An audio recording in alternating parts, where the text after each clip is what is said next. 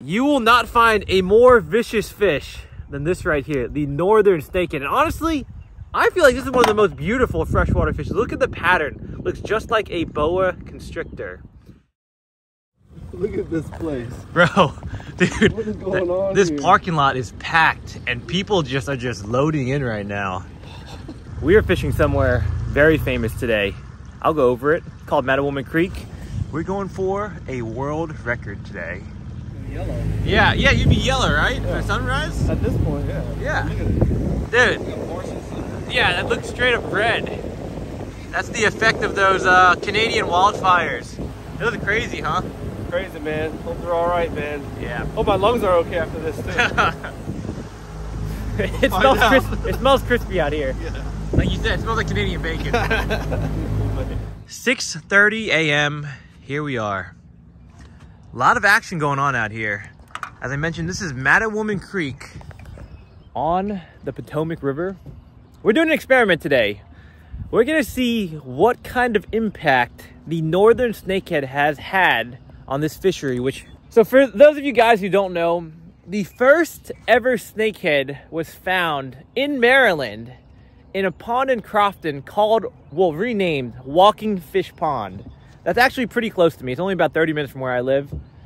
And since then, I mean, it's been 21 years. The snakeheads are pretty much everywhere. I mean, I've caught them. I've caught them five minutes from my house in my local creek, Patapsco River. They are just insanely good at spreading around. Apparently, they can even walk a little bit on land if their conditions are right. So what we're doing today is we're gonna see how much of an impact the snakehead population has had on the bass. Mattawoman Creek actually has the world record northern snakehead, which was caught pretty recently. So in theory, you could say we have a chance to catch a world record today. Oh, oh bro! Let's go, dude! Was that your first cast? Oh, I'm filming the intro. It's a largemouth. Okay, Well, on is that the Hummer? data point, yep. The Googan Squad Hummer, Took baby. a page out of your book, bro. Yeah. So we're gonna be seeing how many bass versus how many snakeheads we catch today. And Starlight, that's fish number one on this little mouth. Would you just cast to the edge of the grass? Is that what you're doing? Pretty much at the mouth of this little Okay. pocket right here. Gotcha. Thank you, Fishy. Let's go, dude. Wait, was that your first cast, second cast? Second cast. Oh, good, good. Not the first Second cast. cast, largey. Woo! I, I like that. I know what you're talking Hey. about there too. Now, according to Starlight, you believe that the bow hunters have been keeping the snakehead population in check. Is that correct? Yes, they have seemed to be the natural predator, it seems. Gotcha. Boat wrap is full of them.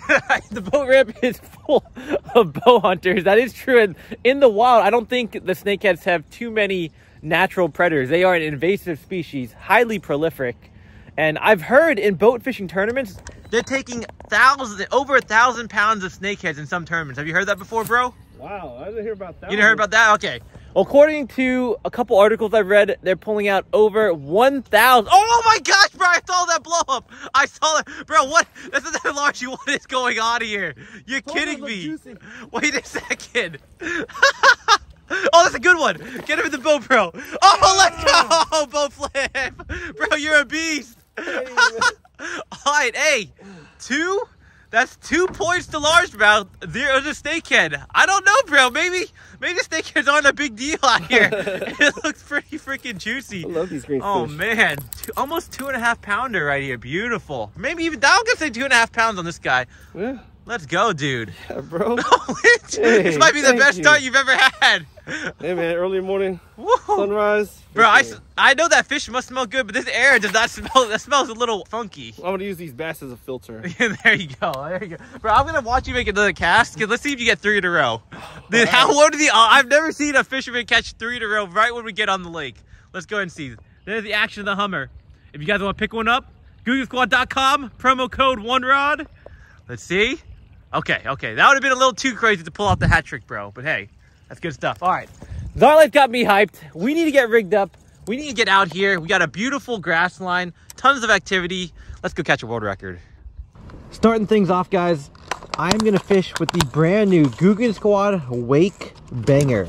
This is a wake crankbait, only goes about an inch or so under the water when you cast it. You can reel it super slow. You can crawl it essentially. It has a ton of noise and vibration. I mean, instead of just telling you guys, let me go ahead and show you. I'm in the water finally. Bag is set. Show you guys the power of the wake banger. So there it is, floating top of the water. Look at that, you hear that? So it goes just under the surface, almost a topwater bait. Ton of wiggling action.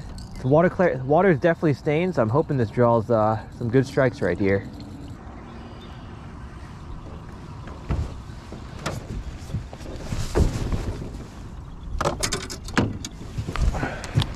And water, uh, sandwiches, and even uh, they have those what do you call them? Peanut butter ones. Oh, the Smuckers? Yeah. I got those two, bro. You got loaded us up. Oh, I got one, bro. Yes. This is my first fish ever on the wake banger. Uh, it's decent. It's decent. Okay, here it comes. Let's net it. Let's net it. I just want to make sure I catch the first one ever on this bait. Woo, it's decent. I think it's a largie too. I, yes, it's gotta be a largie. Dude, these fish are strong. The tide incoming, incoming or outgoing right now? Uh, this one is incoming. Incoming tide. All right. Oh, oh, dude, it's a good fish. Dude, it's a good fish. I don't know. If, is that largie or is that that's large? It's a huge largie, One under the boat. bro. Huge. Wait, wait, hold on. Oh, get him! Get him! Let's go! what the heck, dude? oh my gosh! Yo. What the First Here ever fish on the wake. Whoa, whoa! Ooh, watch on. out! Watch out! That is Woohoo! huge. Oh, let's go, boys! we will take that, my friend. Dude, spawned out. Yeah. Spawned out fish. Just took a photo. Let's give this fish a quick dip. I'm gonna wait on her. All right, girl. Gotta take good care of these fish in that warm water. You know what I'm saying, bro? Mm-hmm. That warm water, they run out of oxygen quickly. Pull out the scale. Eh. There it is. All right. Dip. Good. Fish nice and healthy. All right, get weight on her. She spawned out. This is a historic moment, my friends.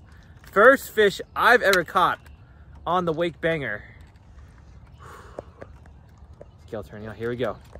Is she gonna reach three pounds? Probably not, but probably Oh, close. Close. mm. Gotta be close. What are we at? 3.36. Really? All right. Yes. Three and a quarter Three all pounder. day. Woo! She's long. Hell yeah. Imagine if she was fat. She'd be over four Oh for sure. gosh. Fish number one. Wake banger, boys. Throw that early morning. Pop him. Let it go. See ya. Boop. Woo! Good Let's go, bro. dude. Thank you, thank you. Appreciate that. This might be the best morning start I've ever had. For at least this year. Wake banger, the Hummer. Dude, we, I mean, I don't even know. We're just getting started here. Who knows what's gonna happen today? And dude, look at the activity. Are those minnows? Is, like I'm stuff. thinking, yeah. Look over there. That's what's spawning over there. I just see like a lot of bait fish. yeah. Sometimes they're panicking because of all the good fish underneath them. Dang, Maybe. dude, I see a ton everywhere. Yeah. This could get real juicy in a second. All right. Just spent 15 minutes pushing from the mouth back into this creek. The water's flowing into it. I thought we'd get a bite, but nothing.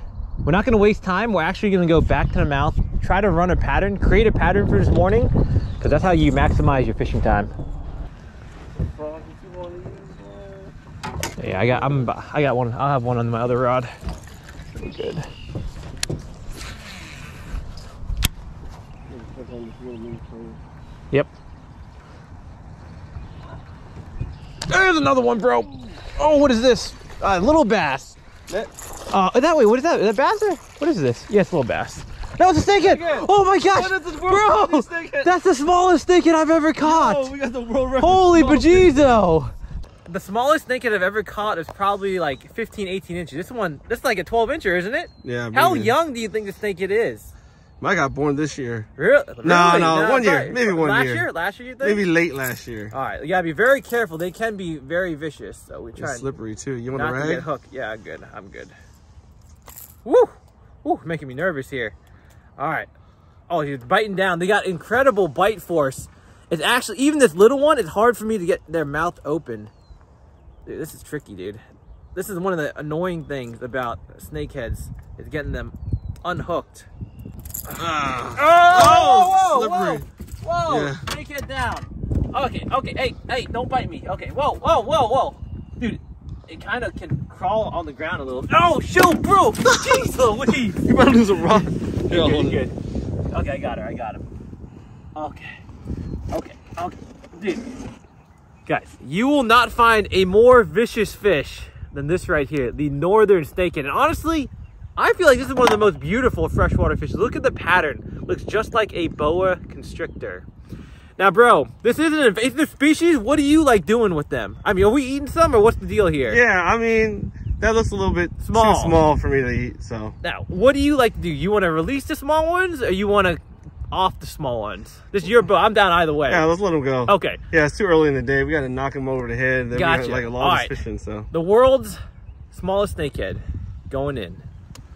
See ya. See where she goes. Let's see how she goes. They're Oh. fast. They're, they're quick. All right, thank you, bro. Appreciate that. Amen. So, Thank you. guys, let's talk for a second. That is the northern snakehead is an invasive species, and back in the day, they recommended that you kill them. I believe Is that right, Starlight? Yeah. In fact, they still might to. recommend it. I they, do they still recommend it? They're recommended, but it's like you could let them Yeah. So they still recommend that you kill them to help control the population, mm-hmm. But you are legally allowed to release them in the same body of water Yeah. that you catch them. So that little guy, we've decided to release them. You know, everyone has their own opinion. Comment below what you like to do with, with northern snakeheads. But so far, it looks like the uh, bass population is looking pretty healthy. We're still only about th 30 minutes into fishing here. We've still got a lot of time to see uh, how this experiment plays out.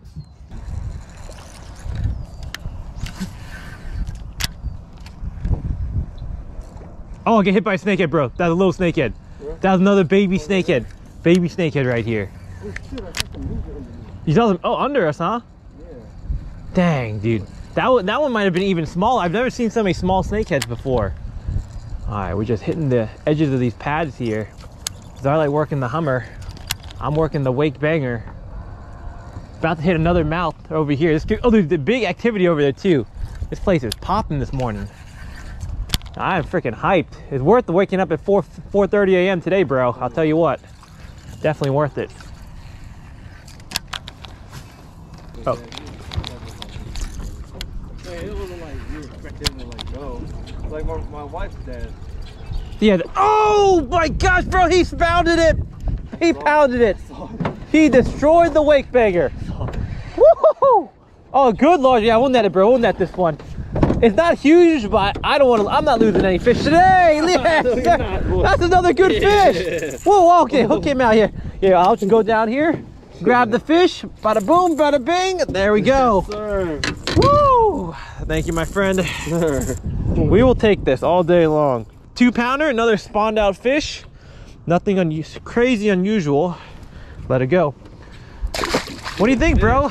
Four bass, one snakehead. That's what I'm saying, man. You think the bass are fine, or what? Are we, what, what are we? That's what are we what thinking think. here? You think, think they're they're good? okay. You think they can coexist? Here. Yeah, Here. sure. Gotcha. Yeah. I think you might be right. All right, we're gonna continue. We're gonna continue running the experiment. It is morning, so who knows? Maybe when we get a little later or in a different area, things might be a little different. All I know is that we got the wind pushing right into these pads right here, creating a beautiful ambush point for these predator fish. Who's gonna be the more efficient predator, the bass or the snakehead? Only time will tell. Wake banger, baby. Bro, I've actually, I was so excited when Googan finally announced the wake banger. Really? Yeah, because I used to, I fish, the, the baby one minus is one of my main baits because, you know, we, we fish shallow grass all the time in Yeah, stained water. yeah. This bait is an absolute beast in stained water plus shallow grass. And that's exactly what we're fishing here. I mean, I'll show you guys under the water later when there's better light penetration. All under us is all kinds of vegetation. And you can't even, you can't even run. A square bill would get caught. You gotta run something just under the surface like the Wake Banger. Wake Banger can outperform in certain in certain scenarios, and this might be uh, this might be one of them. Yeah, like it's still staying. Oh, damn. Oh, this is how you get through, huh? You just power through it. All right. You got this, bro. You got this. Dude, these are freaking... Can you get through here? Sometimes. Sometimes. So we've come around the mouth. We're trying to get into this little... What do we call this zone in right in front of you, bro? I don't even know what you call it. Oh, yeah. A little lake. I mean, yeah, it's like like it's like a it's enclosed by the by the, ba- the pads, correct? It's an enclosed area, and we got these are spatter dock pads, correct? What I heard, yeah. All right, so we got the spatter docks. They are extremely thick. Let me just show you guys one of them that we uh, got cut off right here. Very thick and long. Look at that. Got the head right there. Pretty impressive. So that's what we're dealing with. These fish love using this as cover. Ambush prey.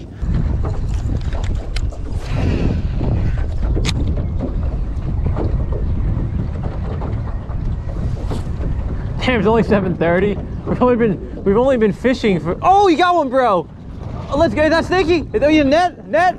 Net? Oh, what is? What is that? Oh, bass. Need a net or you flipping it? Ah, you got this, bro.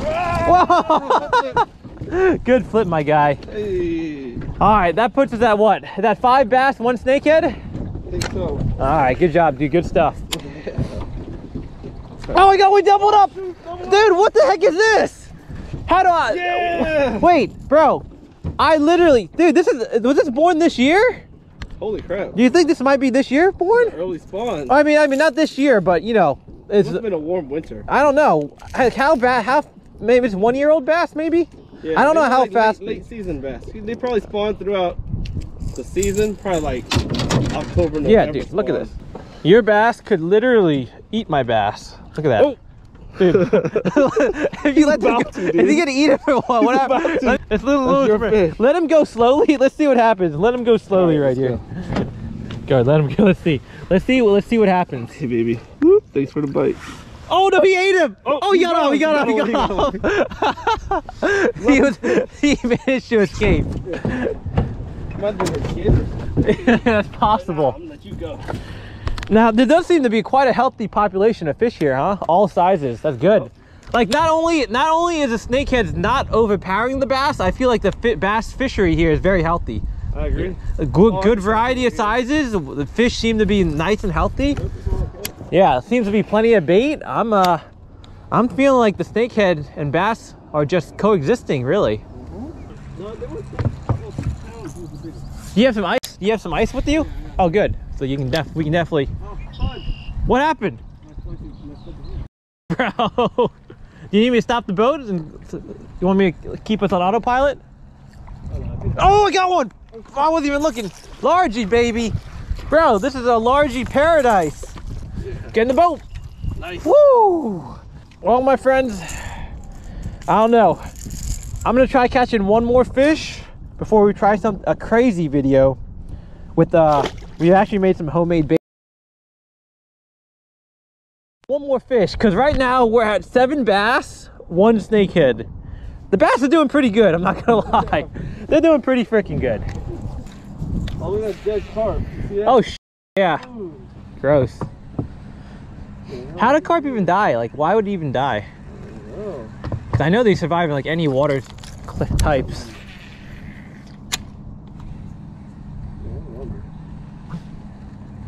Oh, dude came up and smashed it. Good bass, good bass, bro. Net, net, net, net. Solid bass. Oh yeah. Pull a little drag. Come on, baby. Come on, baby. Woo! Good net job, bro. Bro. Oh, yeah. Dude, we just saw a dead carp right there. Now we're hooking another quality pounder. bass. All day. My friends, what can we say? Three pounder, probably about tied for the biggest of the day. I bet, let's see if this one's bigger. Let's see if this one's bigger. Hold on.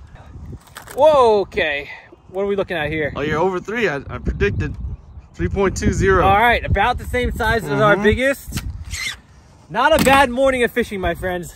Only 90 minutes into fishing, we've caught like eight bass and one baby snakehead. So with this, we are going to conclude the experiment, Nice fish. the Mattawoman Creek experiment. Results are the bass population is healthy, it's thriving, and there are at least a few snakeheads. I know I had some additional snakehead bites, only landed one, but it would appear that snakeheads and bass can definitely coexist in harmony, at least at this particular body of water. Mattawoman Creek, Potomac River. If you guys want to check it out, check it out. There's already a million people out here. You're going to have some pressure. There's a boat right there, but it's fertile, it's thriving, beautiful fishery. We are going to end this video and we're actually going to start a new video. We have each made a homemade bait. We're going to see if uh, we can catch some fish on a bait that uh, we've made ourselves. And just to give you guys a sneak peek, I'm going to hop back here, bro. Mm -hmm. Give the boys a sneak peek right here. Uh, we've got, here's my homemade bait right here. What do you think, Zarlight? You think I can catch one on this?